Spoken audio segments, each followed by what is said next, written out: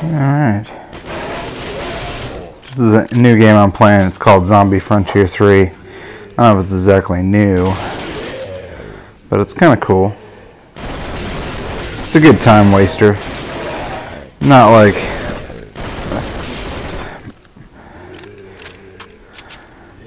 groundbreaking graphics or anything, but you know, it's it's a nice uh, change of pace. The boss fights look pretty epic so far.